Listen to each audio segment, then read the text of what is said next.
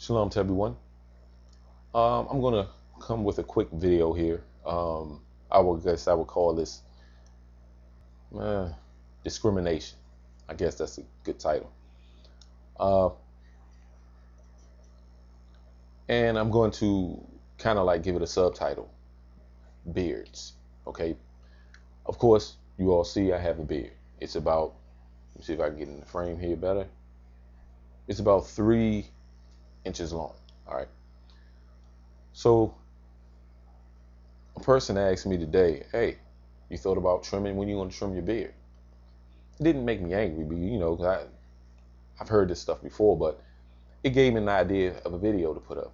And th- those of our brothers that have this issue, maybe on a few people that they work with, may ask them the same question. There's nothing wrong with that because I'm very down to earth. I talk to anybody, nothing can hurt me. Okay, so it doesn't. I don't worry about human. Okay, human nature doesn't. Flesh doesn't bother me.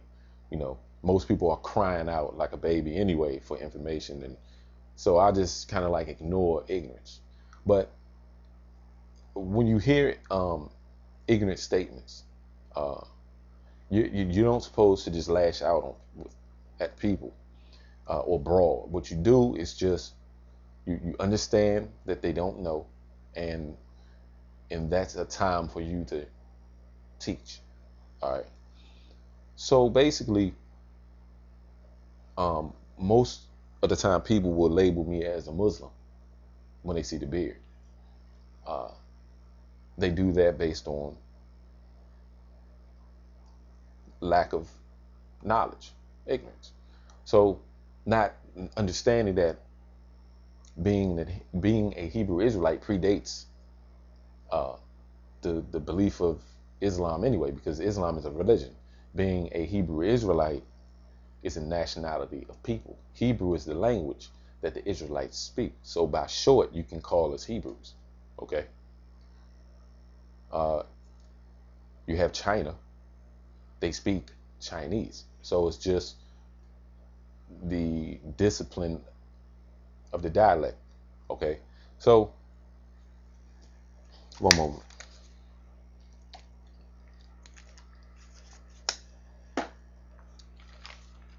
What I want to get into, hopefully this is real quick, is uh, when people label you, you know, our brothers and sisters, because I'm going to get into some information on the sisters, they would label the sisters with head wraps following Islam. Okay, these are very unlearned, ignorant statements. All right, and it's okay. You can teach the person what you believe in, and if they don't accept it, then wipe the dust off your feet. All right. Um,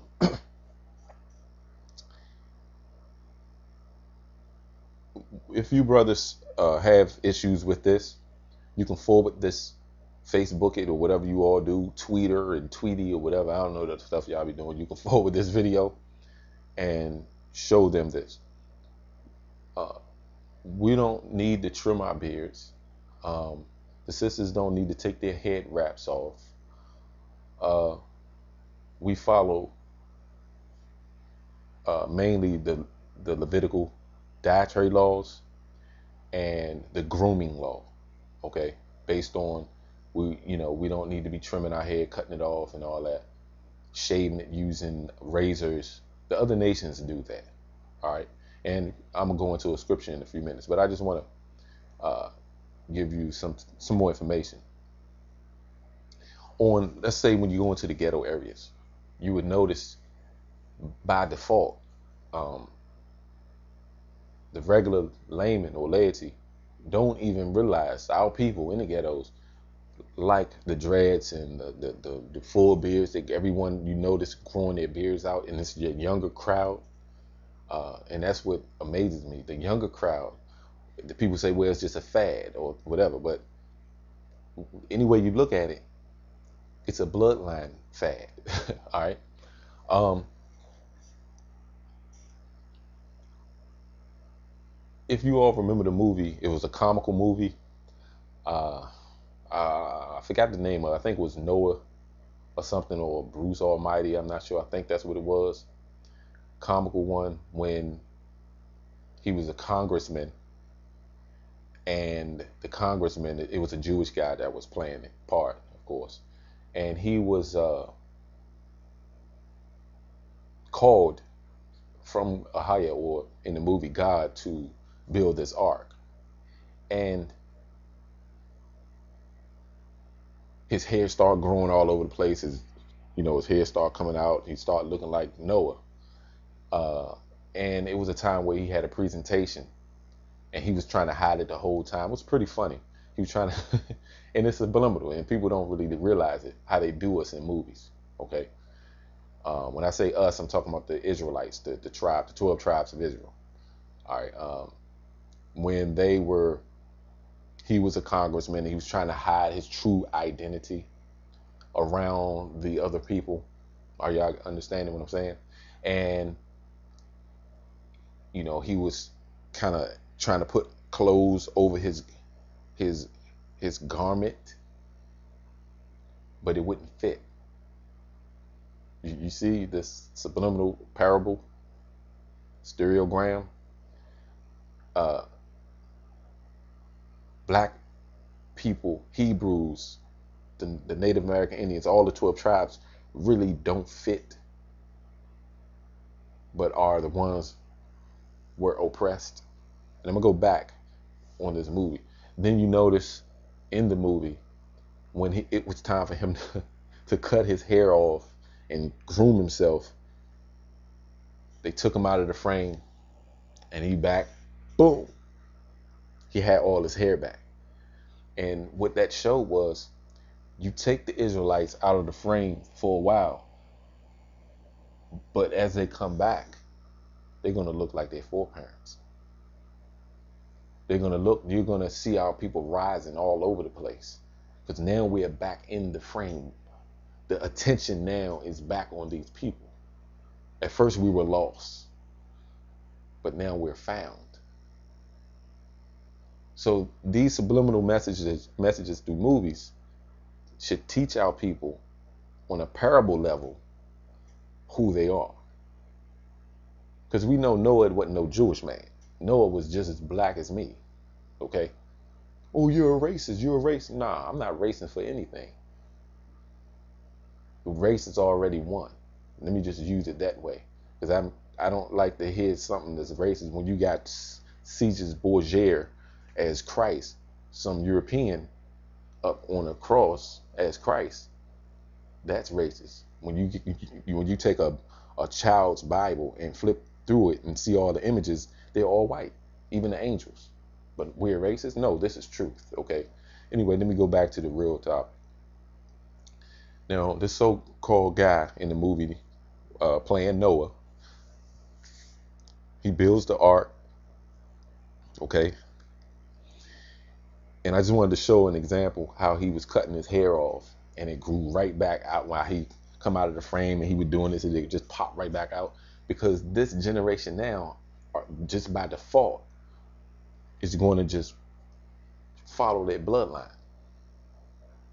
And i'm just going to show i'm going to use me as an example since since i have a beard and since this uh, i was confronted with this today. Uh, have you thought about trimming it or no. So, as you see, my beard is pretty lengthy, of course. It's around three, about three inches long.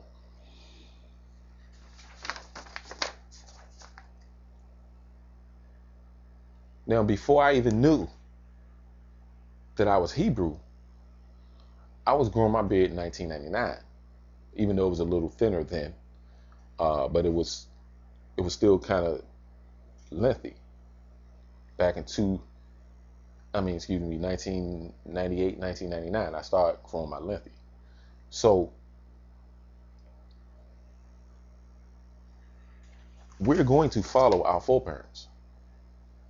Even though a lot of us were trying to look like the other nations, shaping it, balling their head, shaving it up, and using razors and balling our heads off and all that. Okay, trying to fit in you go to a job interview, you got to fit in, but you know you're feeling uncomfortable. That's what it represented in the movie uh, the comical movie. Uh, I think it was Bruce Almighty, or you all know what I'm talking about. Uh, when he built built the ark and he had to, he was trying to be at work, but he felt itchy and he tried to put the other garment on, but it didn't fit. He didn't fit in. We don't fit in. We try to look like the other nations, but we don't fit in. They supposed to be trying to look like us. Now, let me go to a scripture, and I'm almost done. Let's go to Leviticus chapter 19, verse 27.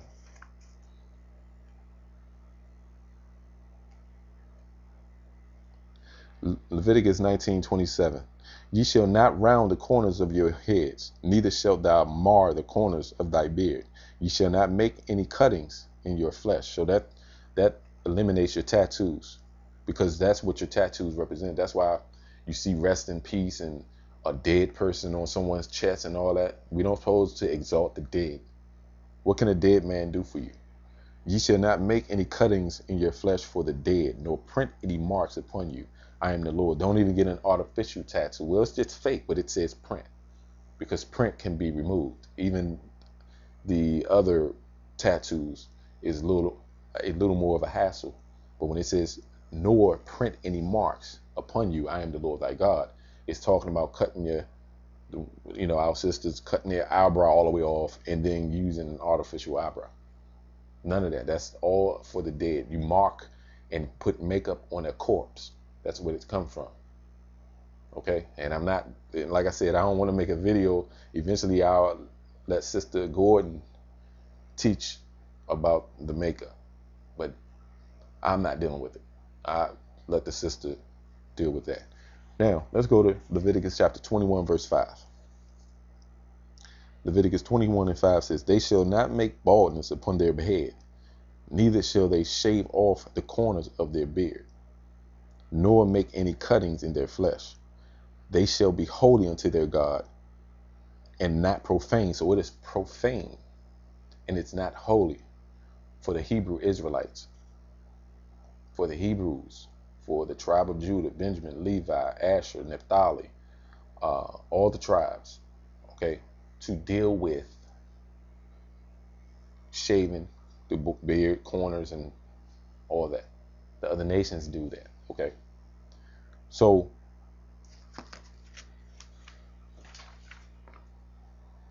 we're going to follow our heritage by default. We're going to want to. It's something that our bloodline runs.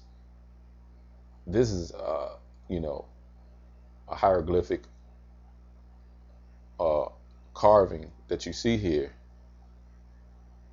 in ancient Egypt, or I mean, excuse me, the land of Canaan. Okay, this is uh, on one of the,